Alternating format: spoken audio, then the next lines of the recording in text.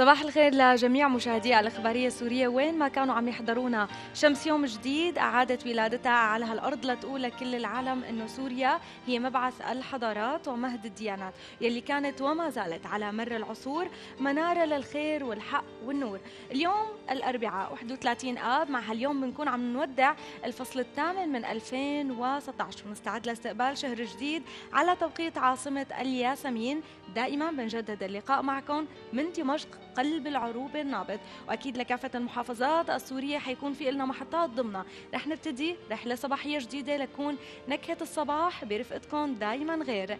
تحيتنا الأولى بنوجهها لحماة الديار أبطال الجيش العربي السوري اللي عم يكتبوا بتضحياتهم فجر يوم جديد لسوريا القوية المنتصرة على الإرهاب. رحلتنا بلشت ولكن بالبداية بدي صبح على زميلتي نور. يسعد صباحك نور. يسعد صباحك سلمى ويسعد صباح جميع مشاهدي الإخبارية السورية. لكل مشاهدينا وين ما كنتوا عم تتابعونا على امتداد الجغرافيا السورية رسالة محبة وسلام من سوريا لكل العالم. تحيتنا الصباحية دائما ما بتكمل إلا لرجال الله في الميدان رجال الجيش العربي السوري أبطال المكان وأسياد الزمان. صباحنا بلش لكن برفقتكم نبتدي دايما بعد الفاصل. نور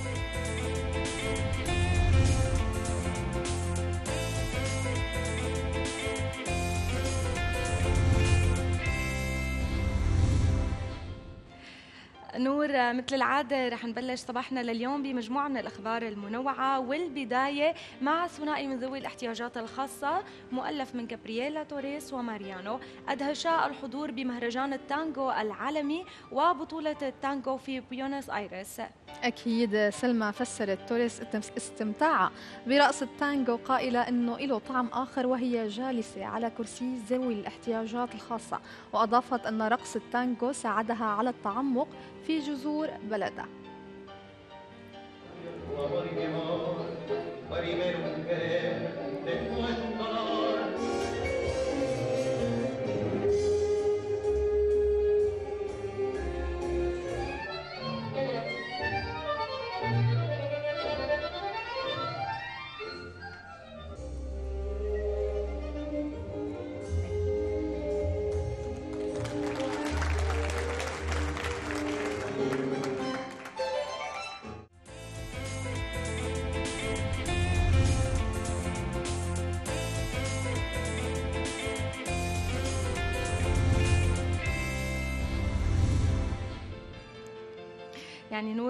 مثل ما شفنا الكرسي آه، هون ما كان كرسي لذوي الاحتياجات الخاصة يمكن كان وسيلة قدرت تعبر من خلالها آه، فعلا عن رسالة آه، الفن ورسالة الإبداع اللي ما بتوقف رغم أي شيء. صحيح رسالة الإبداع ما بتوقف رغم كل الظروف يعني أي شخص يمكن يكون عنده مشكلة أو إعاقة ما بس الإبداع بيولد يمكن من رحم الألم سلمى أكيد نور. خلينا نروح سوا لروسيا حيث انطلقت فعاليات المهرجان العسكري الموسيقي الدولي بموسكو وتضمن المهرجان عرض عسكري ضخم يعد من أكبر العروض في العالم. خلينا نشوف مشاهد منه.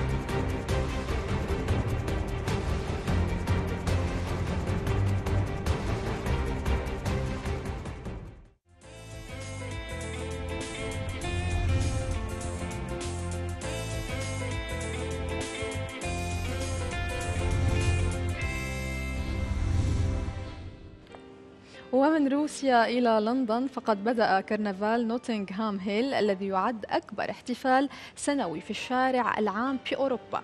ويشارك في فقرات الكرنفال الصاخبة نحو مليون شخص كل عام. لنتابع.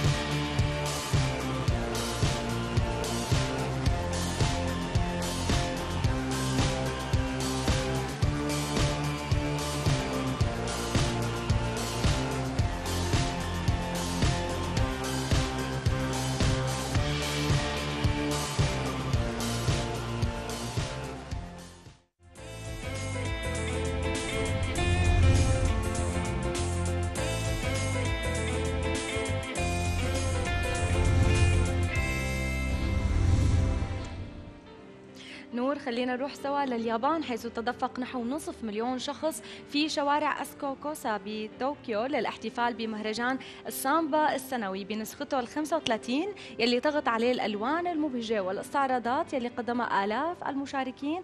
خلينا نشوف سوا.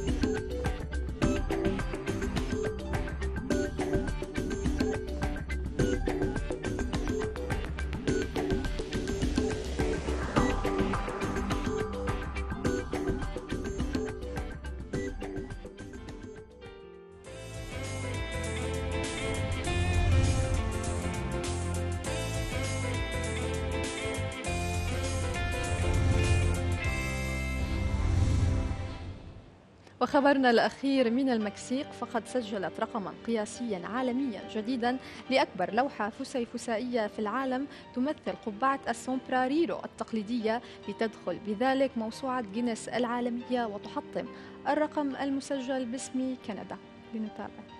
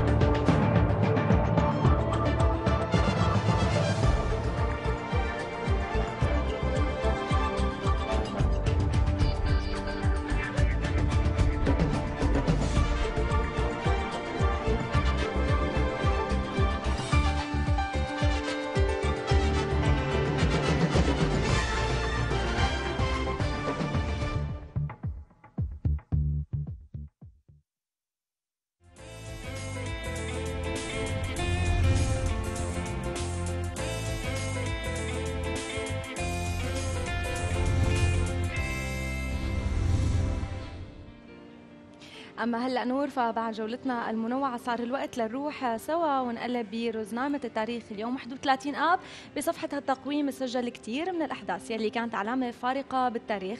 ومثل كل يوم حروح لقراءة سريعة لأبرز هي الأحداث بالتقرير التالي.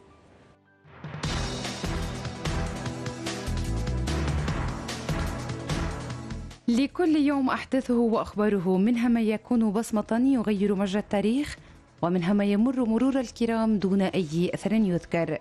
في مثل هذا اليوم من عام 1422 هنري السادس يتولى عرش إنجلترا وهو بعمر التسعة شهور وذلك بعد وفاة والده الملك هنري الخامس.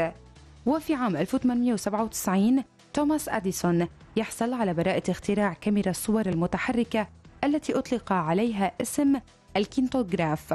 وفي مثل هذا اليوم من عام 1911 مدينة سان فرناندو بمقاطعة لوس أنجلوس بولاية كاليفورنيا تحصل على صفة مدينة. وفي مثل هذا اليوم من عام 1965 تدشين الخط الهاتفي الأحمر بين الاتحاد السوفيتي والولايات المتحدة والمخصص لوقت الأزمات الخطيرة. ومن أبرز الذين أبصروا النور في مثل هذا اليوم من عام 1949 ريتشارد جير ممثل أمريكي. أما أبرز الوجوه التي غيبها الموت عن عالمنا في مثل هذا اليوم من عام 1997 ديانا أميرة ويلز والزوجة السابقة لولي عهد المملكة المتحدة الأمير تشارلز.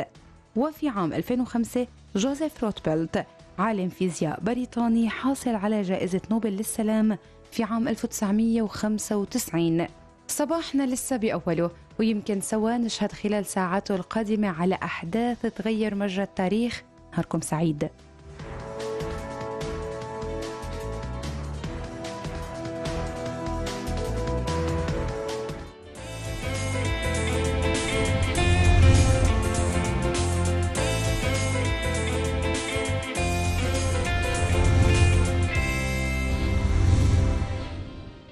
واحد وثلاثين آب تاريخ شهد على ولادة العديد من الشخصيات اللي غيرت مجرى التاريخ وأثرت الإنسانية بمجالات عدة. وحتى العديد من هالشخصيات غادر عالمنا بمثل هاليوم. خلونا نشوف مع بعض مين شخصيتنا لليوم مشاهدينا. جوزيف روتبلت فيزيائي بريطاني ولد في الرابع من تشرين الثاني من عام 1908 في وارسو. هو الوحيد الذي غادر مشروع منهاتن قبل تدمير مدينة هيروشيما في عام 1945 قام بتأسيس مؤتمر للعلوم والشؤون الدولي لتنبيه العالم إلى مخاطر القنبلة النووية. درس الفيزياء في بولندا التي غادرها إلى المملكة المتحدة بعد الاحتلال النازي لها خلال الحرب العالمية الثانية. انضم بعد ذلك إلى مشروع مانهاتن ولكنه غادر وعاد إلى بريطانيا وحصل على الجنسية. درس في جامعة لندن الفيزياء بين عامي 1949 وعام 1976 وقع في عام 1955 مع ألبرت أينشتاين وبيرتراند راسل على عريضة تحذر الحكومات من مخاطر السباق إلى التسلح وتدعو العلماء من مخاطر النووي. حصل في عام 1995 على جائزة نوبل للسلام. وتوفي في الواحد والثلاثين من آب من عام 2005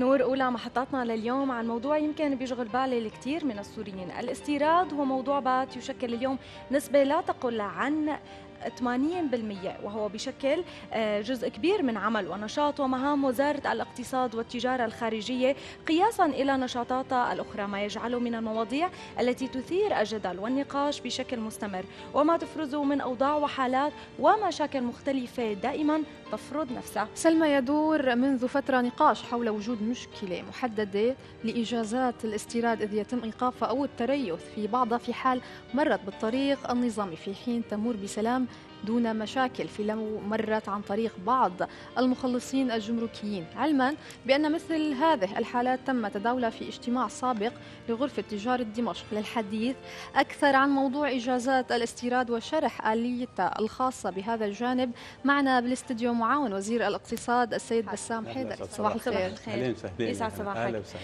بالبداية سيد بسام خلينا نحكي عن إجازات الاستيراد. نعرفها يمكن نعرف مشاهدينا أكثر شو هي. لا اجازه الاستيراد هي بالإطار العام رخصة آه، بيحصل عليها التاجر من إحدى مديريات الاقتصاد والتجارة الخارجية في المحافظات آه، من أجل أن يستورد بضاعة أجنبية إلى آه، وضعها بالاستهلاك المحلي في سوريا. هذه ال- الإجازة هي عبارة عن وثيقة تمنح على عدة نسخ وتوزع إلى الجمارك وإلى المصارف التي ستمول هذه الإجازة ونسخة لصاحب العلاقة من أجل عندما تحضر البضاعة أن يأخذ هذه الوثيقة إلى الجمارك ليتم التعرف على بضاعته وتخليصها. هذه أجازة الاستيراد محدد فيها قيمتها وكميتها ونوع المادة وبند الجمركي ومن أي بلد أتت والفحوص الصحية واللازمة لأن تكون سليمة المواصف القياسي السوري كلها محددة بالإجازة عندما آه، تأتي هذه البضاعة يأتي المخلص ال- الموظف الجمركي أو الكشاف الجمركي فيكشف على هذه البضاعة. إذا وجد أنها متطابقة مع ما هو موجود في الإجازة يقوم بأخذ الرسوم عن هذه الإجازة وتدخل البضاعة. إذا كانت مخالفة في شروط في شروط معينة لها أنظمة إما تعاد إلى بلدها أو أن تكون الشروط يعني ممكن تجاوزها في الحرم الجمركي وبالتالي تدخل البضاعة وتوضع بالاستهلاك المحلي. طيب هذا سيد باختصار بسام شديد. إيه يعني أنت باختصار شديد يمكن وسريع عرفت شو هي إجازات الاستيراد. قبل ما نغوص بتفاصيل إجازات الاستيراد والمشاكل التي تدور حولها خلينا نفصل أكثر للمشاهدين آلية الاستيراد. كيف بتكون؟ لما أنا بدي أحصل على إجازة استيراد يعني دائما في فترة طويلة يا باخذها يا ما باخذها تمام. شو هي الآلية اللي هلا صدرت آلية أقرت في جلسة مجلس الوزراء ب 23 8 مؤخرا. هي آلية جديدة, جديدة. مم. آه، وضعت آه، آلية متكاملة لكل هذا الموضوع. طبعا. ما ما قبل جلسة مجلس الوزراء في 23 8 كان هناك آلية معتمدة. بدأ استخدمت لمدة ثلاث سنوات. آه، التجار بيتقدموا بطلبات للحصول على موافقة في مديريات الاقتصاد ترفع إلى الوزارة. يحصل على موافقة تعاد إلى المديرية فيحصل على الإجازة. هذا كان معمول به سابقا. ما ما تم في جلسة مجلس الوزراء ب 23 8 هو إقرار اليه جديده متكاملة. ألغت كل التعليمات التي كانت تسبق هذه الجلسة وصدرت تعليمات جديدة ضمن آلية ووزعت إلى مديريات الاقتصاد وغرف التجارة للعمل بها. هذه الآلية يعني من ميزاتها أنها حددت المواد بشكل دقيق وواضح قوائم مكتوبة محددة قيمها وكمياتها وكل شيء عنها بحيث أن التاجر يستطيع أن ينظر في هذه القائمة وينظر إلى البضاعة التي يرغب باستيرادها ثم آه، يتقدم بالطلب فسوف يتم الموافقة له على طلبه إذا كانت متوافقة مع هذه الآلية المعلنة. نعم. و- وأعطت طبعا هذه الآلية آه، المساواة في كل المواد يعني لأي تاجر بيتقدم على هالمادة بيحصل على نفس الكمية أو أقل. مهم. يعني هذا أوضعت وضعت الآلية سقوف لكل مادة. كل مادة السقف الأعلى المسموح منها كذا. يستطيع التاجر أن يأخذ حتى السقف الأعلى وأقل أكثر من السقف غير مسموح. أما السقف هو كميات كافية وتلبي حاجة السوق. درست بعناية هذه الآلية ووزعت لتكون شفافة. ومن من أهم ميزاتها أنه ليس للعنصر البشري يعني تدخل في تقدير الكمية أو أو أو أي شيء آخر. يعني لشو؟ محددة بدقة بحيث أن التاجر يعرف طلبه. لا لا يوجد آه، العنصر البشري مهمته الآن أن يدقق أن تكون طلب التاجر متطابق مع وما الآلية. يتدخل بإعطاء أساسا الإجازة مو بس يدقق لأنه في كثير من الإجازات توقف ما تتاخذ يعني لمشكلة ما أو بسبب شخص ما لا الآن الآن آه، في أنا نحن نتحدث عن الاليه التي صدرت يوم مهم. 30 9 30 8 حددت بدقة وبالتالي التاجر إذا تقدم بطلب إلى المديرية تصل إلى الوزارة للتدقيق أنها متطابقة مع الآلية. لا- لا, لا يوجد دور بإقلال الكمية أو زيادة الكمية أو إعطاء أو عدم إعطاء. طيب. إذا كان الطلب متطابق مع هذه الآلية حتما سيحصل على هذا الطلب. من لز- من لا من لا يحصل على طلب هو الذي يكون قد تقدم بطلب مخالف لهذه الآلية. أو إن المواد المح... المواد المسموحة محددة والمواد التي غير واردة بهذه الجداول غير مسموحة. يعني الآن أصبح الأمر واضح. يستطيع التاجر ي- يجد في المديرية ما هو مسموح فيتقدم بطلبه وما هو غير مسموح لا يتقدم بطلب. خلينا نحكي يمكن عن بعض المواد اللي آه، استبعدت أو مستبعدة من إجازات الاستيراد وشو هي المسموحة يعني لحتى نقول هذا القانون الجديد اللي هلأ. طلع ب 30 تمام. 8 نعم. شو شمال شو. تم تعديلات باعتبار قلنا إنه كان في جدل كبير على الموضوع شو اللي تم استبعاده شو اللي تم تحديده بشكل أوضح تمام يعني. هلأ ما كان يتم سابقا مثلا نقول مستلزمات الإنتاج الصناعي والزراعي بيتقدم التاجر بطلب بيحصل على هذه المستلزمات في لجنة تقديرية بتقدر الكمية وال وال وال- والقيمة. الآن ما صدر في هذا الدليل مثلا هو أهم قائمة فيها هي قائمة مستلزمات الإنتاج الزراعي والصناعي. هذه المادة محددة مثلا أصبحت ما هي مستلزمات الإنتاج الزراعي؟ مثلا عندنا هون الشعير العلفي الكسبي بذور فول الصويا الذرة العلفية المتممات العلفية اللقاحات البيطرية كلها محددة بقيمة وكمية. مثلا 12500 بالتنسيق مع وزارة طبعا المواد الزراعية بالتنسيق مع وزارة الزراعة المواد الصناعية مع وزارة الصناعة مواد ال- الصحية الأدوية مع وزارة الصحة مسبقا بيكون تم التنسيق وأخذ الموافقة. فإذا التاجر الذي يرغب باستيراد مادة الشعير مثلا بينظر بهذا الجدول بيقول أنه 12500 هو الحد المسموح. هذا الحد الأعلى. هلا بيستطيع التاجر يقدم أدنى لكن 12500 هي كمية كافية لشحن بضاعة على باخرة. بيستطيع يحصل على هذه الكمية أو أقل. أقل. كل تاجر لديه مستودع ولديه عمال اثنين في مستودعه بيستطيع يحصل على مادة الشعير بطلب واحد ستة آلاف. طن مثلا. مادة أخرى اللقاحات البيطرية مثلا متعددة الأنواع بقيمة مئة ألف يورو. من يتقدم؟ من التجار الذين لهم سجل تجاري. طبعا هي أمور واضحة لكل تاجر عنده مثل هذه ال- الوثائق بيأخذ مثلا مئة ألف لقاحات بيطرية. القمح مثلا 2500 طن. كل تاجر يتقدم إلى مادة القمح. بياخذ 2500 طن بالطلب الواحد بيستوردها بعدين بيجيب 2500 ثانية السكر الخام مثلا البذور الزراعيه ب 500 ألف يورو. أي تاجر بده بذور زراعيه بيستطيع لحد ال 1500 يورو يتقدم طلبه وياخذها. الأسمدة والمبيدات الزيوت الخامية مثلا الحبيبات البلاستيكية هذه القوائم محددة 100% بدقة واضحة ولا يستطيع أحد أن يدعي إنه لا يعرف.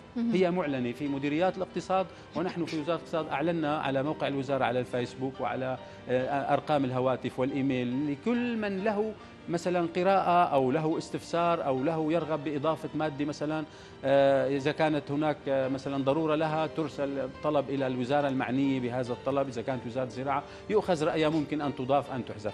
الآلية إذا آه، حددت التي يتم استيرادها وهي المواد إذا قلنا كنا عم نحكي عن المواد الأساسية للإنتاج الزراعي والصناعي بالكامل. عندنا المواد التا- الفئة الثانية هي المواد الأساسية الغذائية مثلا مثل السكر والرز والشاي والقهوة والطون والسردين هذه مواد غذائية أساسية. أيضا حددت الآلية آه، كميات من هذه المواد وقيم آه، حليب الأطفال حليب البودرة الشاي آه، السمنة الحيوانية مثلا محضرات تغذية الأطفال وهكذا. محددة قيمة وكمية. الأدوية البشرية مثلا مفتوحة.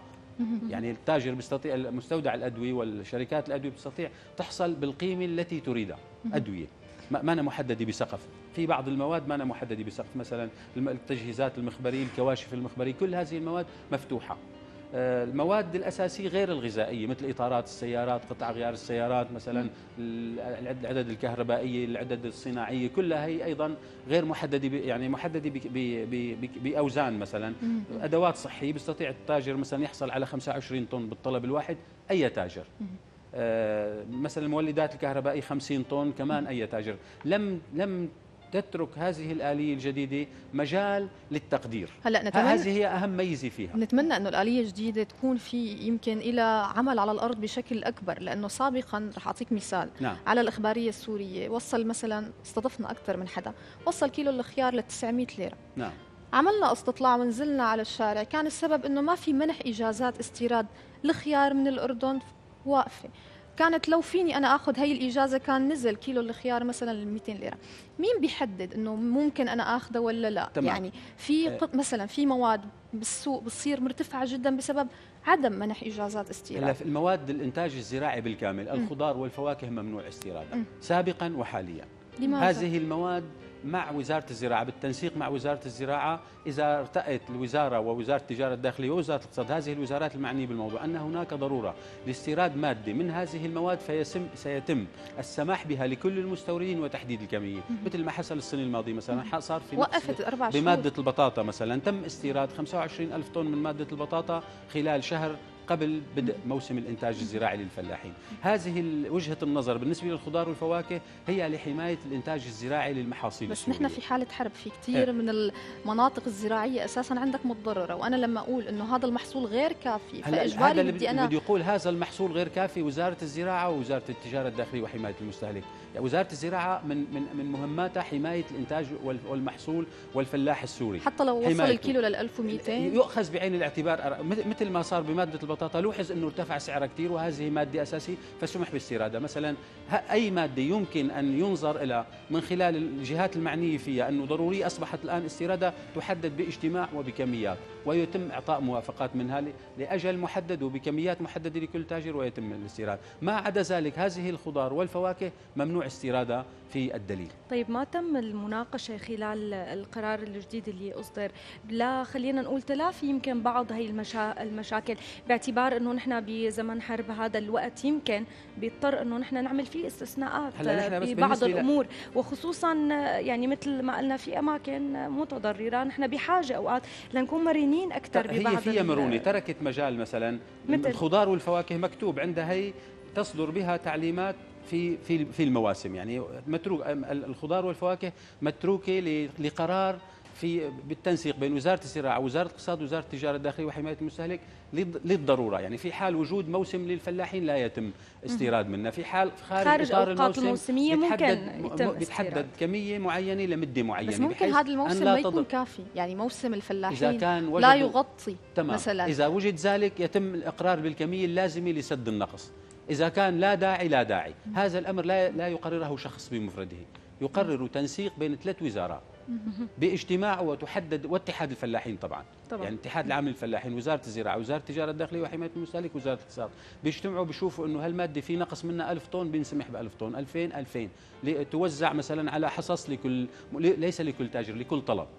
لا, لا يت... مثلا للطلب الواحد 50 طن 25 طن لكي نصل إلى الكميه اللي هي مثلا مسموحة 1000 طن أو 2000 أو 3000 في في تحديد بدقة كل مادة مكتوب مثلا مثل هون مثلا بالتنسيق مع وزارة الزراعة.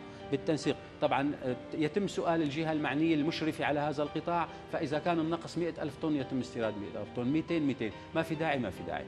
انه تمام. السوق المحلي كافي هذه تتم تركت هذه الآلية الباب مفتوحا آه، ل- ل- و- ومرنا ل- لسد النقص في أي منتج كان زراعي أو صناعي يعني هاي اليوم من ميزات الآلية اليوم بدك. تعذرنا يمكن نحن عم نحاول نكتر أسئلة ولكن. بدنا نشوف تساؤلات يعني بما أنه كتير. حضرتك موجود معنا اليوم فبدنا نحاول نستثمر أكبر قدر ممكن من يمكن التساؤلات تمام. الناس يمكن من المشاكل اللي مرقت كثيره وقدرنا نرصدها من نعم. خلال الإخبارية وننقلها مع حضرتك نعم، أيضا في. موضوع كثير مهم اللي هو السمسره وكشف التعامل التجاوزات أيضا هل تم آه، تحديد هذا الشيء بالنسبة لرخص لا يمكن الاستيراد؟ لا, لا, لا. بتعرف كان بيصير طب هلا نحن بعض هذا عمل- التجاوزات. هذا العمل مثلا بيشتغلوا فيه المخلصين الجمركيين معقبين تمام. المعاملات.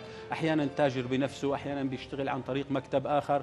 هي عملية طويلة في الجمارك وفي الاقتصاد. نحن الآن أنا أقول ب- ما تم في هذه الآلية لم يعد هناك من دور. لا للموظف ولا لمعقب المعاملات لم يعد له دور في هذه الآلية. طالما أن التاجر أصبح يستورد أرز مثلا مكتوب مادة الأرز محدد الأرقام صارت ممكن 2000 تلغي. كثير من هاي المشكلة. الأرز مثلا. 2000 طن من منشأ ومصدر واحد. بيجيبها. اللي بيقدم 2000 طن بده ياخذها شو بده يساوي الآن السمسار أو الموظف أو أي واحد؟ تاجر صار بيعرف حقه 2000 طن. بيتقدم 2000 طن بياخذ 2000 طن. بده 1000 بياخذ 1000 بده 500 بياخذ 500 ما عاد في دور للعنصر البشري. إن كان معقب معاملات والله مخلص جمركي والله موظف. ما حدا بيقرر. الآلية هي التي تقرر أصبحت الآن. مهمة جميع هؤلاء الذين نتحدث عنهم هو التدقيق في أن هذا الطلب. متطابق مع هذه الآلية. لم يعد هناك مجال لتدخل الشخص. يعني لو لو كان مثلا مكتوب إنه بس حتى لما بقول إنه وزارة الزراعة هي التي تحدد أو بالتنسيق مع وزارتين أو ثلاثة كمان ما رح نقول شخص ممكن يكون عشر أشخاص كمان لا لا. ستحدد من حجم الإنتاج المحلي معروف. يعني الإنتاج المحلي مثلا من موسم الزيتون مثلا معروف مو- موسم ال- الفواكه. إذا كان مثلا الخيار مثلا موسم المزارعين معروفين وهناك مديريات الزراعة في المحافظات واتحاد الفلاحين والروابط الفلاحية. تعرف حجم المحصول وهل هناك نقص أو لا يوجد نقص. من من هذه الآلية يتم اجتماع يتد- يوجد فيه ممثلين للفلاحين ومن وزارة الزراعة ومن كل هذه الوزارات حتما هؤلاء سيأخذون بعين الاعتبار حجم الإنتاج المحلي المتوقع طيب العام. بدنا نطمن يمكن جميع التجار السوريين اللي بالبلد بسبب الظروف يعني في كثير من التجار غادروا البلد في نعم. كثير بقيوا بقلب البلد الموجود حاليا تماما نعم. الموجود حاليا بدنا نقول لهم بدنا نطمنهم إنه ممكن ياخذوا إجازات استيراد ما راح يكون في عليها مشاكل ما راح يكون في محسوبيات ما راح يكون في واسطات يعني هي دائما في مشاكل حواليها قد ما كنا نعم، قانونيا. وقد ما كان. في لا في مشاكل. في, في نحن نقول الآن من واجب الموظف ومن واجب التاجر. الآن أن يقتني هذه الآلية وي وي وي وي ويتقدم بطلب من خلالها مهم. إذا كان المادة محددة في هذه الآلية لا يستطيع أحد أن يمنع التاجر من الحصول عليها. وإذا كانت المادة غير موجودة في هذه الآلية وفي هذه الجداول لن يستطيع التاجر الحصول عليها لأنها غير موجودة بالجدول. ما هو الشاي مثلا كل تاج ونحن أعلنا في مديريات الاقتصاد وفي الوزارة وفي كل المواقع وغرف التجارة والصناعة كل تاجر عليه أن يعرف هذه المواد وبماذا يتاجر. إذا كانت المادة موجودة فكل الأبواب مفتوحة له للاعتراض. ولكن قلت لك الآن أصبحت يتقدم بطلب مطابق لهذه الآلية سيحصل. تلقائيا في اليوم التالي وليس في اليوم الثالث أو في اليوم الرابع. في هذا اليوم مثلا يتقدم الطلبات حتى نهاية الدوام الواحدة والنصف. في اليوم التالي سيحصل على نتيجة طلبه وهذه النتيجة إما أن تكون مطابقة أو غير مطابقة. عندما تكون غير مطابقة سيقال له لماذا؟ نعم. وإذا كانت مطابقة سيحصل على الإجازة حتما. ويمكن له أن يعترض في الوزارة وفي مديريات الاقتصاد نعم. وأنا أعتقد إنه لا لن يضطر للاعتراض ال- طلبنا من مديريات الاقتصاد أن تنشر في في كل لوحة إعلانات في كل مديرية هذه الآلية وهي عبارة عن عشر صفحات مكتوبة وت- وتنشر في لوحة الإعلانات ووزعناها يوم أمس نشرناها في صحيفة الثورة وأرسلناها إلى غرف التجارة وغرف الصناعة وغرف الزراعة وأيضا وضعناها على موقع الوزارة على الفيسبوك. نعم أستاذ بسام حيدر معاون وزير الاقتصاد بدنا نتشكر وجودك معنا لليوم. نتمنى كمان مشاهدينا يكونوا استفادوا آه، كل اللي يمكن. ما شاف على صفحة الفيسبوك يكون حضر الحلقة. شكرا كثير لوجودك وأيضا معنا. تم إلغاء القرار آه، اللي سألتي عنه حضرتك الموضوع القرار. القرار 601 اللي كان بيفرض على المستورد أن يضع 25% من قيمة الإجازة قبل أن يستورد. البضاعة تم إلغاء هذا القرار نعم. أيضا. شكرا. أهلاً شكرا لك. نتشكرك. نتمنى لك التوفيق وشكرا كثير على المعلومات القيمه اللي قدمت لنا إياها. ونتمنى إنه أي شيء بيصب بمصلحة الوطن جاهزين نحن للاجابه أكيد. لأي شكراً سؤال كثير إلك. تفضل. أما هلأ مشاهدينا بسوريا بنبقى وتحية السوريين الدائمة ورسائلهم من القلب إلى حماة الوطن أبطال الجيش العربي السوري يلي وفقتها كاميرا إخبارية سورية خلينا نتابع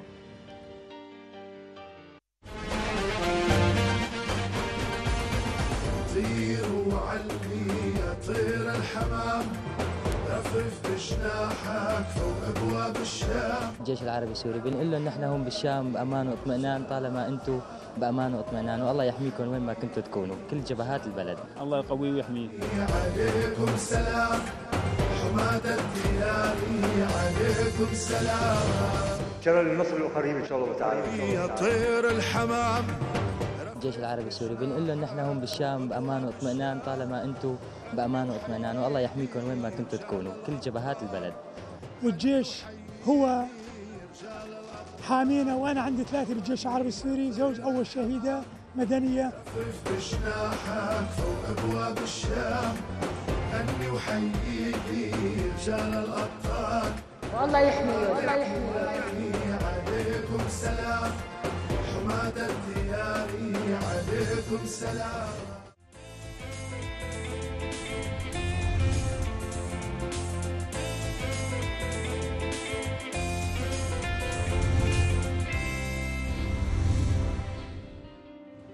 أما هلأ مشاهدينا فصار الوقت لنترافق بجولة على أهم الأحداث والأخبار الثقافية. خبرنا للأول من سوريا وتحديدا من دمشق وتفاصيله معك نور. أكيد سلمى البداية من الرواق العربي الذي يشهد حاليا معرضا تشكيليا يحمل عنوان إيقاعات نازفة للفنان حسين صقور مختزلا عبر لوحاته أكثر من خمس سنوات من عمر الحرب على سوريا. المعرض ضم أكثر من 30 لوحة بأحجام تنوعت بين الكبير والمتوسط والصغير وتركزت مضامينها على الفن التجريدي المفعم باللون والدهشة الباحثة عن السلام. يذكر أن الفنان التشكيلي حسين صقور عضو في اتحاد الفنانين التشكيليين السوريين وله العديد من المعارض الفردية أبرز أنشودة حب وأغاني التراب ودموع آدم وغيرها من المعارض الفنية إضافة إلى مشاركاته الجماعية.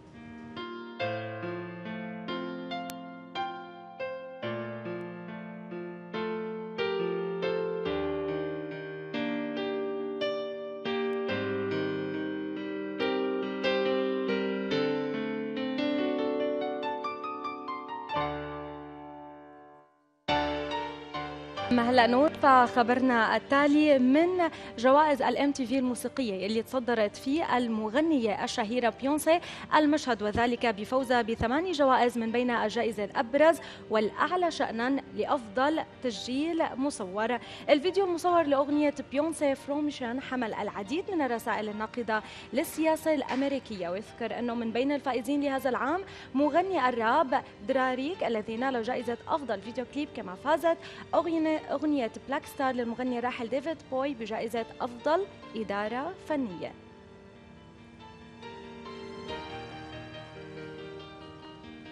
سلمى وخبرنا الأخير في الثقافية لهذا اليوم مع وفاة المغني المكسيكي خوان جابرييل الذي يعد واحدا من أكثر الفنانين نجاحا في أمريكا اللاتينية. جابرييل توفي نتيجة أزمة قلبية قبل حفلة قبل حفلته الموسيقية الذي كان مقررة أن تقام بولاية تكساس ويذكر أن الفنان جابرييل الذي انتهت مسيرته الفنية والتي دامت أكثر من أربعين عاما حقق شهرة واسعة عبر ملايين النسخ المباعة من ألبوماته حول العالم كما شارك في أداء أدوار سينمائية عديدة.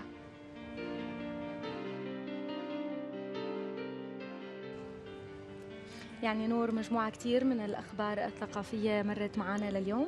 خلينا هلأ نروح بفاصل صغير ونرجع نتابع مشاهدينا باقي فقراتنا.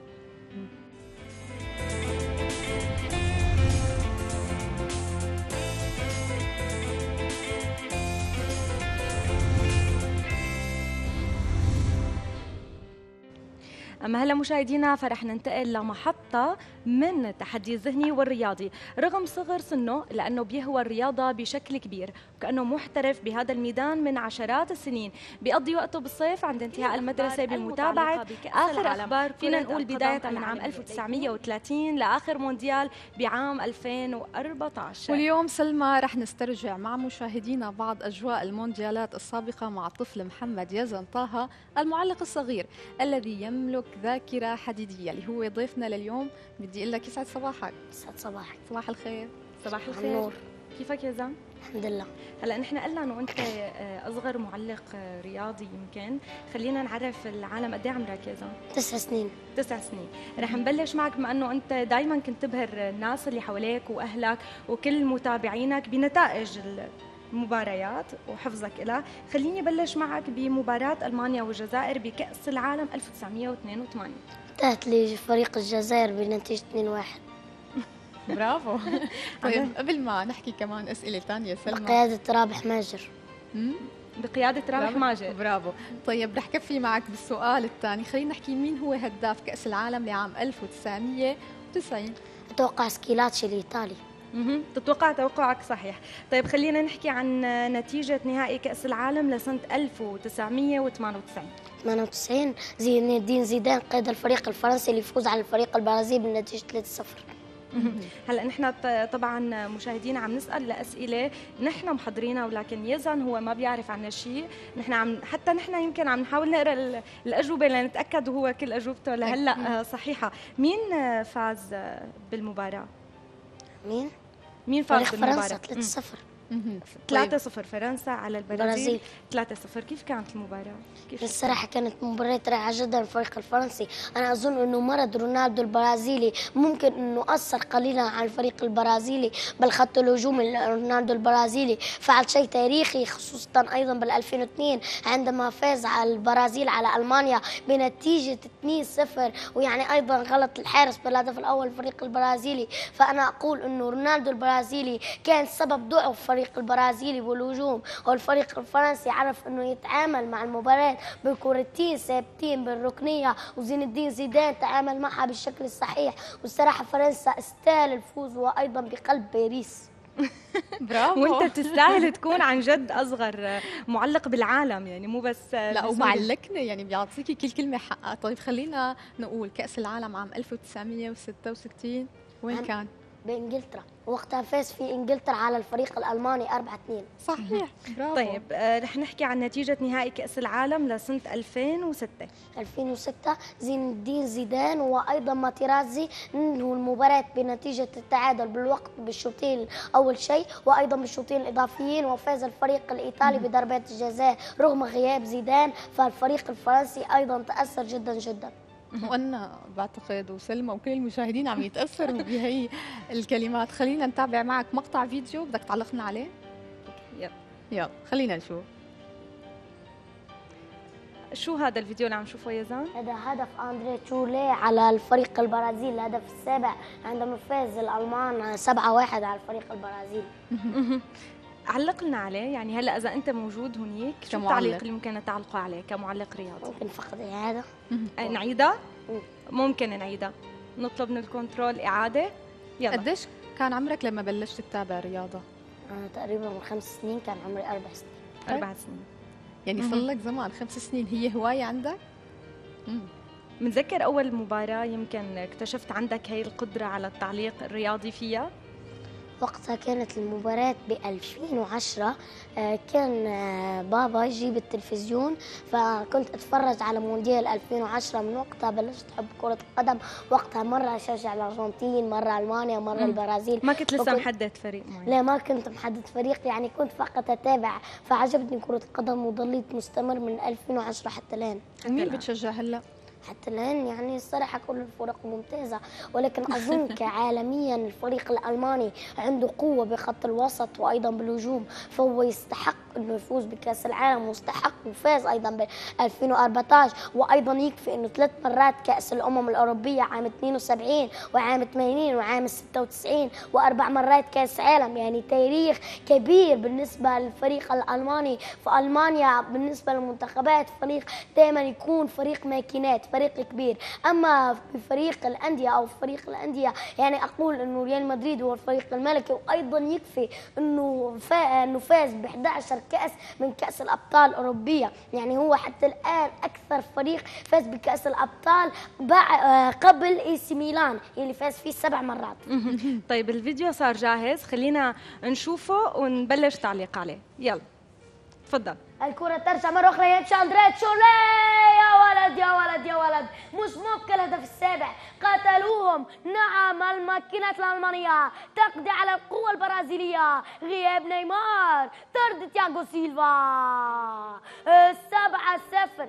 سبعة صفر السريع. حرام حرام حرام حرام. فضيحة تأتي البرازيل على أرضكم وبين جمهوركم. وأنتم فريق عريق منذ أعوام وسنين. أتى لكم بيليه. ورونالدو البرازيلي ورونالدينو وجيرفيرو وأيضا جونيور. وماذا تكفون؟ وكذلك سقراط. ماذا الفريق البرازيلي؟ هل انهار البرازيل؟ هل انتهى وقت البرازيل؟ والألمان بالنهاية سبعة صفر seven zero. بلا رد. جوليو سيزار يتحسر على خيبة أمل. سكولاري يلجأ إلى خطة الاحتياط. أين أنت يا البرازيل؟ أين أنت يا محمد؟ شو هاد يا ولد؟ يعني عم نحكي عن المباراة تبع البرازيل وألمانيا آه، سبعة صفر. ليش سبعة برأيك؟ واحد. سبعة واحد. بس ليش برأيك؟ ليش برأيك خسروا؟ يعني صراحة الفريق البرازيلي عنده كثير من النقاط فوقت الفريق الألماني. عليه أول شيء خواكيم لوف. خواكيم لوف يعني تفوق على سكولاري ذهنيا اهتمامه بالمباراة التعليمات للاعبين يعني هو مهتم بالمباراة وجوعان يريد الفوز. سكولاري فقط يكتب على الورقة ويعطي تعليمات أصلا هي خطأ. أنا أقول أنه كذلك غياب نيمار على الخط الهجومي وكذلك خطة البرازيل. تشكيلة 4 2 4 هذه التشكيلة دائما يعني تخسر الفريق. لماذا؟ خط الوسط يكون ضعيف فيها. خط الوسط دائما هي معركة العمليات. لو أنت سيطرت على خط الوسط تسيطر على المباراة. النتيجة ضعيف جدا. حتى أوزيل ببعض من الأوقات يعني أو بالأوقات المباراة يرجع كرابع خط وسط جنب كروز وشفاينشتايجر وكذلك سامي خضيرة. ويعني كلوزي ومولر يكونوا كراسين حربة. وأيضا بعد دخول شورلي يعني الفريق الألماني صار أقوى بكثير لأنه شورلي عطى الحلول عطى السرعة للفريق الألماني. فألمانيا كان يستحق المباراة بالنتيجة استحوذ على اللعب لعب لعب بلعب هادي تمريرات بالقدم القدم. وسامي خضيرة سامي خضيرة هو نقطة مهمة جدا بالمباراة. وكذلك توني كروز. كروز دائما كان اللاعب ال box to box يعني يخرج من الصندوق الألماني بالب... يعني بالأمام حارسه مانويل نوير يروح لصندوق جوليوس سيزار فالبرازيل يعني كانت منقضية عليها من جانب توني كروز من جانب سامي خضيرة من جانب شفاينشتايجر من جانب أوزيل. تمريرات الساحة عند اللاعبين أقوى. الألمان جوعانين ويريدوا الفوز أحسن من البرازيل. البرازيليون يفكروها لعبة قدر وفقط يلعبوا أنه على أساس هم أقوى من الفريق الألماني. ولكن الألمان اهتموا بالمباراة عرفوا قوة لاعبينهم وحذروا حذر من الفريق البرازيلي وأخذوا سبعة واحد. يعني هذه إهانة.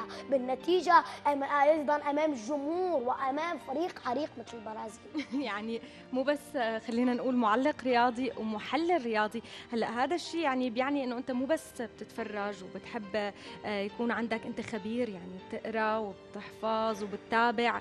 قديش بتاخذ معك وقت يوميا يمكن هذا الشيء؟ طبعا مع دراستك يعني لا ننسى إنه أنت بالمدرسة. لا هي المباراة ال- يعني تاعت الدوري أشوفها ببعض من الأوقات. بعض الأوقات. يعني هي المباراة المهمة فقط. أما بيرلي وهدول الفرق اللي من المستوى الثاني أو الدوري الإنجليزي للدرجة الثانية أو حتى الدوري الأسباني هاد ما تبعوش. الواحد لما يشوف كرة القدم يحتاج لإثارة أو حتى لما يشوف أي شيء يحتاج لإثارة. يعني عشان يحب اللعبة إثارة كرة القدم الشغف يعني الأعصاب أعصاب اللاعبين وأعصاب الجماهير. لقينا عندما فاز الفريق الألماني 7-1 صاروا حتى الأطفال الصغار صاروا يبكوا يعني يبكوا. هذه من إثارة كرة القدم من حبهم لكرة القدم من شغف كرة القدم. فكرة القدم يحتاج لواحد يحتاج للإثارة فيها. والصراحة كرة القدم يعني على على القليلة إنه هي أكثر لعبة شعبية. نعم. والشغف اللي عندك بكرة القدم واضح. محمد خلينا نتابع مع مشاهدينا. البرنامج اللي بتقدمه كل يوم بدته نص ساعة. نشوفه مع بعض ونرجع؟ خلونا نتابع كانت مستوى رائع جدا. الفريق الإيطالي حافظ على القوة البدنية بعدما أن أتى بالهدف الأول وكانت مباراة طيبة للفريق البلجيكي. هاجم ولكن الفريق الإيطالي كيليني وبارزالي بونوتشي هؤلاء الثلاثي كان قوي جدا لحماية مرمى جانلويجي بوفون. من أي خطر بلجيكي؟ أنا أقول أن الفريق البلجيكي ممتاز. كان اللاعب قويات أو اللاعبين للفريق البلجيكي كانوا ممتازين. يا زين يتأهل بلجيكا؟ يخطر. ممكن يتأهل يتأهل. نعم يعني عندك يعني- إياه. هدني عليه هدني عندك عليه، إياه. هدني عليه. عندك إياه. آه ليش آه شوف عمرك ثمان سنين؟ و- ودير بالك. شوف ليش ليش خايف- إيطاليا خايف ليش, عليك شنو؟ ليش إيطاليا؟ لا و- و- بكفخه ليش إيطاليا رجعت على خط لعبه خطة دفاعية بعد ما جابت هدف؟ يعني حتى الكرة الإيطالية دائما تعودنا بهذا الشكل. حتى ضرب وتكسير هذه الكرة الإيطالية تظل وبالكرات المرفوعة. فحتى الهدف الثاني اللي سجله المنتخب الإيطالي على الفريق البلجيكان من هجمة مرتدة. فالفريق الإيطالي لا يستعمل الخطة الهجومية يعني يلعب بثلاثة خمسة اثنين والخمسة وسط كلهم يرجعوا للدفاع. صح. يصار يصار كثير من دفاع ثمان لاعبين.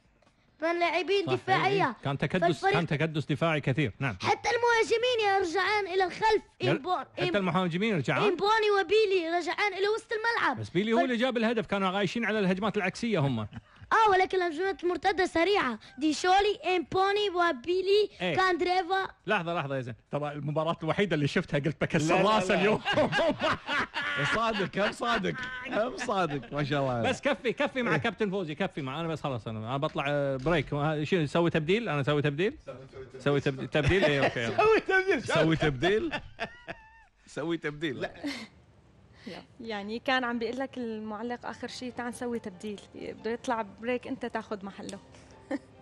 كم مرة تعرضت لهذا الشيء يمكن ناس تفاجئوا بالبداية بكمية معلوماتك هو قديش عندك؟ طلال الياقوت بالمقاطع دايما يكون كوميدي أكثر.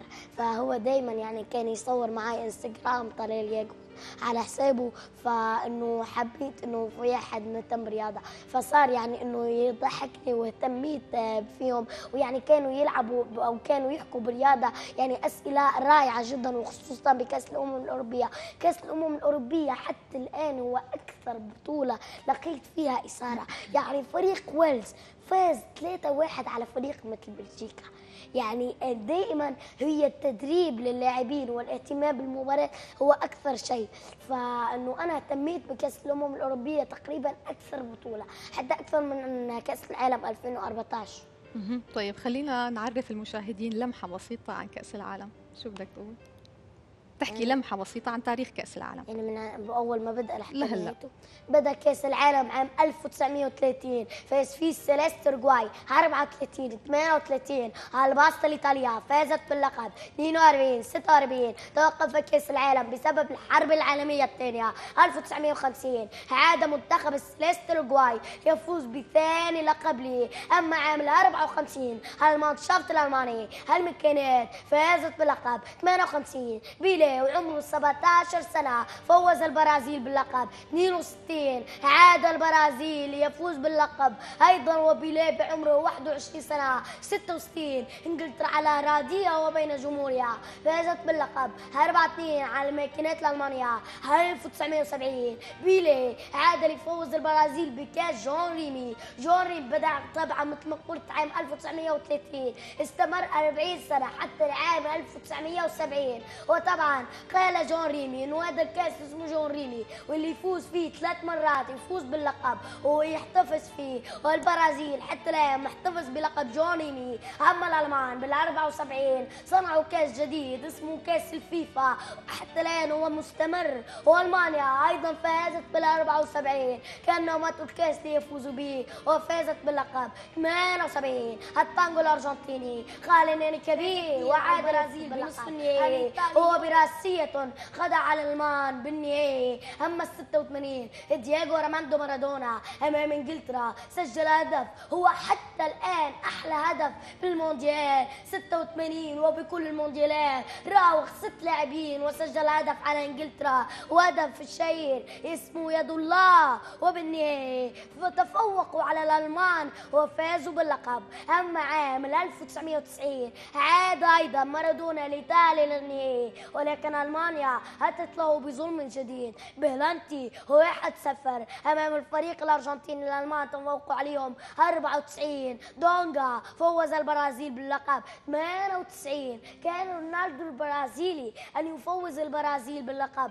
ولكن مرضه بالمباراة النهائية. جعل زين الدين زيدان بفرنسا وبقلب باريس أن يفوز باللقب. 2002 عاد رونالدو البرازيلي ليقول أنها لعبة لأنه مرض ولكن عاد وفاز باللقب 2-0 على ألمانيا بالنهائي أما 2006 المباراة الشهيرة فاز فيها الفريق الفرنسي على الفريق البرازيلي. 1-0 وسميها مباراة الأصدقاء. رونالدو البرازيلي ضد زين الدين زيدان. وكانت معركة ما بعدها معركة. 1-0 تيري هنري. من كرة ثابتة أتت له تمريرة من زيدان. ولكن المباراة النهائية كانت بين زيزو وماتيراتزي بلنتي من هنا ردتهم من هناك فسخ وعاود من جديد. ماتيراتزي ولكن بعدها بنطحة من زيدان على صدر ماتيراتزي ذهبت إلى يتفوق الفريق الإيطالي بضربة جزاء 2010 تمريرة من فرناندو توريس. استلامه والأروع من إنيستا. وتصويبه والأحلى شبكة شباك الهولنديين.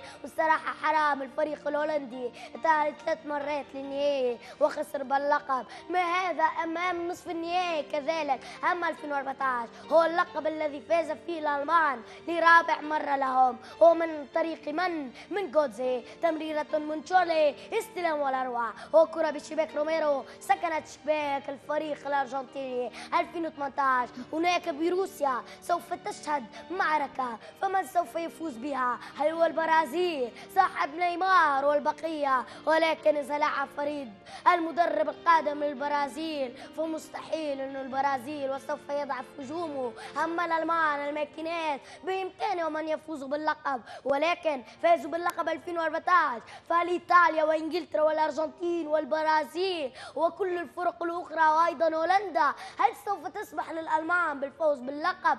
أم الألمان سوف يعودون ويفوز باللقب لثاني مرة على التوالي 2014 و2018 كأس العالم. هو أقوى كأس بالعالم. واسمه كأس العالم. وأتمنى الحظ لكل الفرق. ولكن برأيي يعني الفريق البرازيلي ممكن يكون أقرب هو الفريق الألماني. لأنه لماذا؟ الفريق الأرجنتيني صحيح أنه ممكن أنه يلعب ماسكيرانو كلاعب ارتكاز ويرجع دي ماريا كلاعب وسط متقدم. ولكن النقطة هي باستوري باستوري يعني بكل سنة يجب أن يكون مصاب مع باريس سان جيرمان وهذا سوف يؤدي إلى مستوى متذبذب جدا لباستوري. فأي الحل الذي سوف يكون؟ ولكن وجود ديبالا مثل ما قال المدرب الأرجنتيني هو شيء ممكن أنه يحسن الفريق الأرجنتيني. ديبالا لاعب شاب صغير بالعمر عنده إمكانيات رائعة وخصوصا مع فريق يوفنتوس عندما يكون كلاعب أساسي يعمل كل ما عنده والصراحة لاعب رائع جدا وبإمكانه أنه يفعل شيء للفريق الأرجنتيني. يا زين طيب بعد ما أعطيتنا يمكن هذا ال...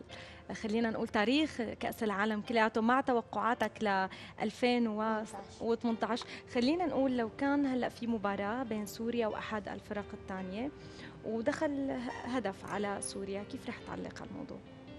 يعني الصراحة أعلق ولكن أكون يعني حتى لو سوريا خسرت بالنتيجة ولكن أنا فوزها فوزها بالتعليق مثلا كيف؟ يعني إنه تكون تعليق احكي الكلام هذه النسور قاسيون والكلمات الرائعة الفريق السوري. لأنه بالفعل الفريق السوري عنده إمكانيات رائعة جدا. لماذا؟ من 64 مباراة بالتصفيات فاز ب 27 تعادل ب 22 خسر ب 15 هذا تاريخ لاحق وأكبر محاولة وأقوى محاولة. للفريق السوري كانت عام 1986 عندما كان ناقصهم هدف واحد فقط ضد العراق ولو يعني سجلوه كانوا يتقالوا 86 ولكن هذه كرة قدم فوز وخسارة. مش ممكن إنك تزعل يعني وتعلق بهذا أو سب أو شتم حتى لأنه كرة القدم هي أهم شيء بكرة القدم. الروح بحبها الرياضية. أخلاق روح رياضية هذه هي كرة القدم. طيب محمد خلينا نقول إنه المشهد هلأ قدامك. كيف بدك تعلق؟ يعني تخيل المشهد وعلق لنا. الصراحة ما أقدر. ما يعني أنا أكره الخسارة. بكرة القدم اكره الخسارة مثل كريستيانو رونالدو مثل بقية اللاعبين في لاعب يكره الخسارة أنا أكره الخسارة ما أحبش إنه فريقي يخسر اللي بيمثلك الفريق اللي بيمثلك ما بتحب إنه يخسر لا ما يحب طيب خلينا نقول إنه أنت نلت تكريم أنت نلت تكريم تكرمت شو كان شعورك مالي آه، موح- محمد موفق جمعة. جمعة. موفق أي. جمعة. يعني الصراحة لقيت إنه شعور رائع جدا لأنه لواء مثل هذا يعني يكرم مثل بس كرمني. أنت شو كان شعورك لما كان شعور تكرمت؟ رائع. حسيت بالفخر إذا يعني ال- اليوم يمكن نحن ومشاهدينا شفنا موهبة سورية. هي فعلا موهبة ممكن نقول إنه رح فينا نقول رح تقدر تدخل جينيس لو حبيت جينيس؟ جينيس كأصغر معلق رياضي بالعالم ممكن تقدر تدخل هذا الشيء. مو بس معلق ومحلل رياضي كمان. شكرا. طيب بتفكر بالختام- بالموضوع؟ بتفكر إنه إيه؟ طيب بالختام محمد إذا بدنا نقول بالنسبة لك أهم هداف بكأس العالم مر على المونديالات مين كان؟ أهم هداف؟ ولا أفضل لاعب؟ أفضل لاعب. أفضل لاعب الصراحه بيليه. بيليه. بيليه حتى هو أفضل لاعب بالعالم. بيليه تاريخه إنه يعني لاعب دائما هو هداف. فبيليه لاعب رائع ولكن هذا بالقديم.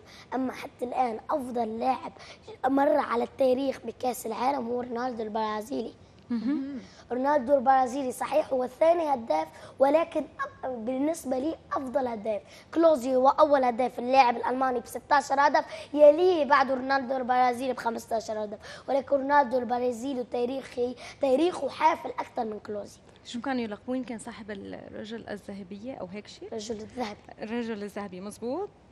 حتى الجو- الجوهر. جوهرة سوداء بختام حديثنا بدي أتشكرك كثير يزن على وجودك معنا وبدي أتمنى لك التوفيق وإن شاء الله قريبا نستضيفك وأنت حاصل على جينيس كأصغر معلق رياضي بالعالم. شكرا لك شكرا لك محمد. مع المعلق الصغير بننتقل لغرفة الأخبار للاطلاع على آخر المستجدات السياسية بسوريا والعالم مع زميلي بهاء الخير. يسعد صباحك بهاء. يسعد صباحك نور ويسعد صباحك سلمى. وأكيد يسعد صباح ضيفكم المميز. موجز لأهم الأخبار بعد الفاصل.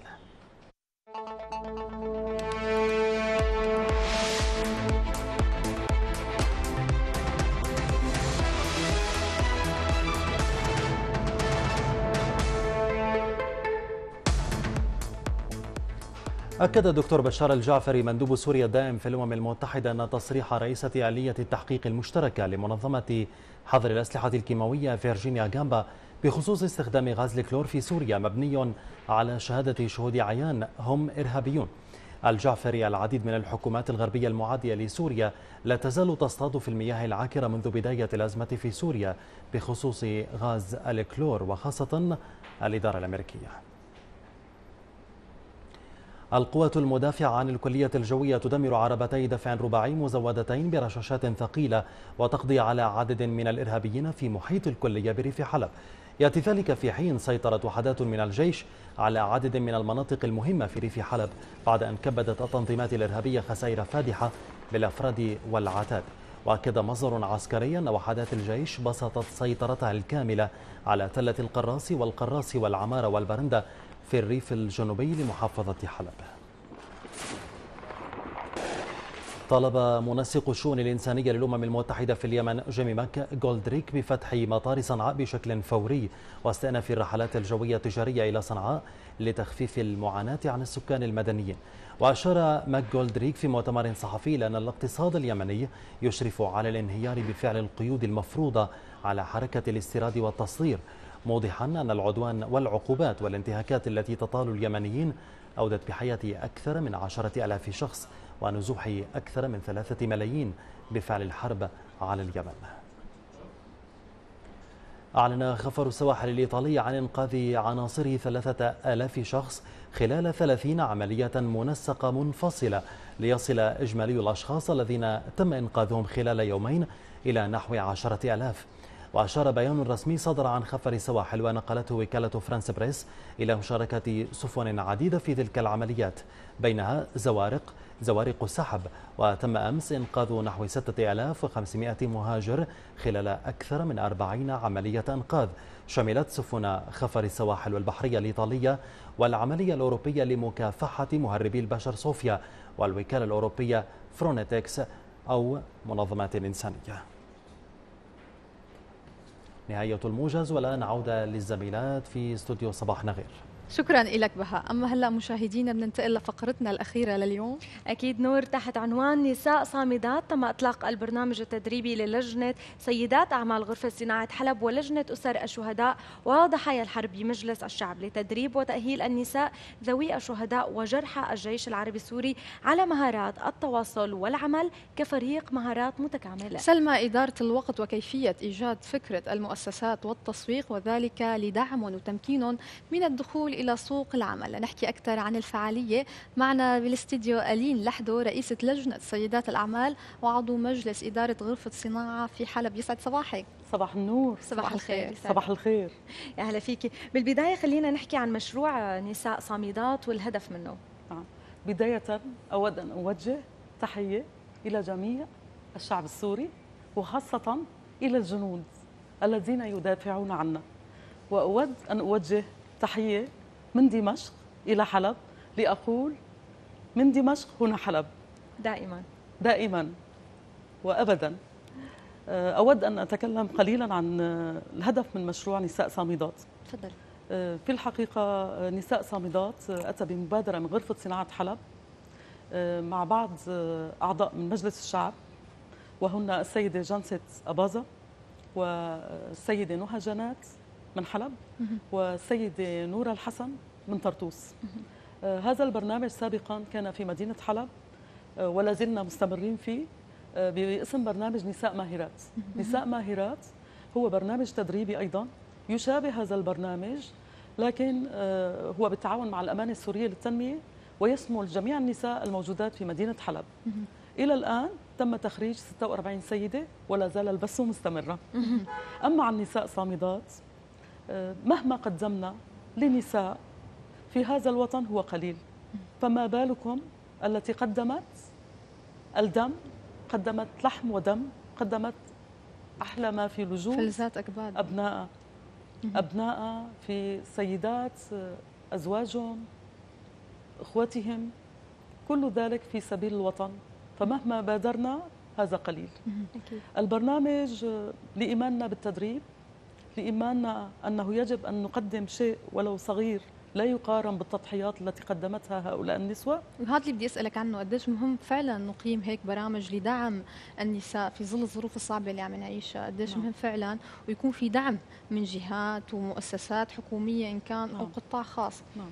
غرفة صناعة حلب لما فكرت تعمل هالمشروع فكرت لعدة أبعاد أولا البعد اللي هو المواطنة المواطنة تعني حب الوطن تعني الدفاع عن الوطن بكافة أشكاله. المواطنة تعني آه، كيف نتكامل آه، وكيف نحافظ على وحدة الوطن. آه، أبناء هؤلاء السيدات أو أزواجهم دماء سالت في مدينة حلب. فقررنا أن ننطلق من حلب إلى دمشق وطرطوس وباقي المحافظات. نؤمن أيضا بالتدريب وبقدرات الإنسان وإمكانياته. نؤمن بأن التدريب يغير منحى حياة الإنسان. يطوره نحو الأمام ونؤمن بأن سوريا من جديد سوف تولد لكن بتعزيز وتمكين القدرات. النساء في اليابان وفي ألمانيا بعد الحرب العالمية الثانية آه، هم وقفوا وشغلوا المصانع. وأنا أقول نساؤنا قادرات. وأيضا وقفوا في هذه الحرب وأكبر دليل لا زلنا صامدات ولا زلنا نعم. تقدمنا الكثير؟ نعم سيدة إلين رح نتابع مع بعض حديثنا ولكن خلينا نروح سوا لنستعرض مشاهد من- لرزوتو كاميرا الإخبارية مع زميلتنا فرح سليمان ونرجع نكمل حديثنا.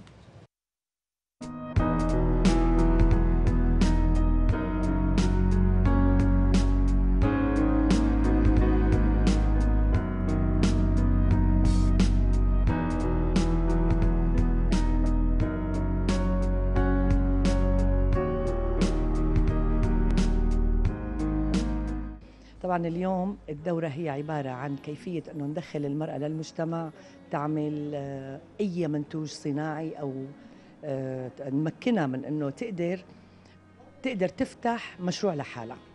ففي عنا تريننج في ناس أخصائيين بدهم يجوا يعملوا لنا الدورة وأنا طبعا مشاركة فيها لأنه أنا بيهمني هذا الموضوع. آه، اليوم كثير مهم إنه هي الشريحة اللي أكثر شريحة تضررت بهالحرب يلي شنوها على سوريا هي شريحة ال- المرأة المرأة بشكل خاص. آه، إن كانت أم شهيد ولا الأم المهجرة ولا الأم اللي صفيت بلا معيل بهي الحرب. طبعا نحن بيهمنا إنه هي الأم تضل هي مركز أسرتها. وترجع توقف على رجليها وترجع تربي أولادها بتربية صحيحة وسليمة إن شاء الله. هلا هو بالأول كنا عملنا دورتين سابقات بحلب وكانت النتيجة رائعة جدا مع السيدات طبعا بإنه بلشوا كل سيدة بحد ذاتها عاملة مشروعها الخاص بدعم من عنا مع الدورات مع القصص كلها. هلا حبينا بمبادرة بين حلب والشام وطرطوس وهيك يكون في كمان نتيجة النجاح اللي صار بحلب. ننقله معنا للشام وبال بالوقت نفسه هو مع الأمهات الشهداء اللي هن شو ما عملنا بظن بيكون كتير كتير نقطة كتير كتير صغيرة آه، بالشيء اللي صار قدامه. هلا هي بصمة إن شاء الله تكون جيدة وتعطي نتائج وإن شاء الله يضل في استمرارية لحتى نكون معهم دائما هي المبادرة كتير بتهمني. أنا كمدربة لأمهات شهداء بمشروع الخياطة. ف فهذا الشيء كتير كتير ظريف لهم لأنه حتي حتقدر بعدين تعتمد على حالها نوعا ما. مو بالضرورة تكون مع مجموعة ممكن تكون عملت مشروعها الخاص أو ممكن كل ثلاثة أربعة يعملوا مشروعهم الخاص. فهذا حيدعمهم أكيد. حيدعمهم وحيخليهم لبعدين يقدروا يعرفوا كيف كيف يقدروا يصرفوا المنتج تبعهم تسويق المنتج كيف ممكن يكون منتجهم كويس كيف ممكن يحافظوا على وقتهم كيف ممكن آه، يكون بطريقة مدروسة كل شيء كل تفاصيل شغلهم وعملهم. في برنامج موضوع للعمل وهو تمكين البرنامج هو عبارة عن إدارة مشروع. تمكين المرأة السورية اللي فقدت أم فقدت ابن فقدت زوج من إدارة مشروع من بداية المشروع وحتى نهاية المشروع. كيف ممكن هي تحصل على مورد مادي تقدر تعيش فيه خلال آه، حياتها فترة حياتها. لأنه في كثير من النساء فقدوا أولاد معيلين فقدوا أزواج معيلين. فهي الدورة رح تمكن المرأة مع المرأة آه، من آه، إنه تحصل مورد مادي. جاي من محافظة حمص من مدينة القريتين وهون النساء من كافة المحافظات. لنعمل على كيفية التعامل مع أسر الشهداء وضحايا الحرب ونوضع خطط بحيث إنه يعني نكون نرضي إنه الشعب ونرضي أسر الشهداء وما بنحسن نعوضهم عن الشيء اللي راح بس لو إنه بشيء بقيمة إنسانية معنوية أكثر من هيك.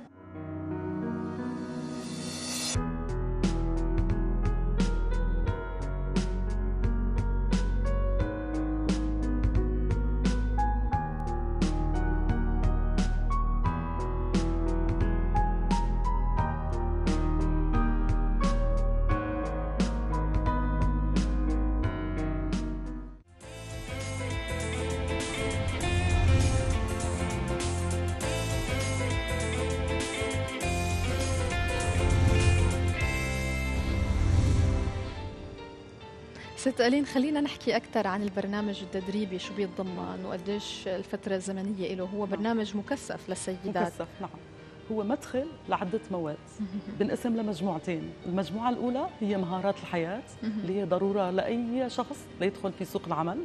المجموعة الثانية كيف يبلش الشخص يفكر بمشروعه الخاص. آه، ببلش بكيف أوجد فكرة مؤسسة؟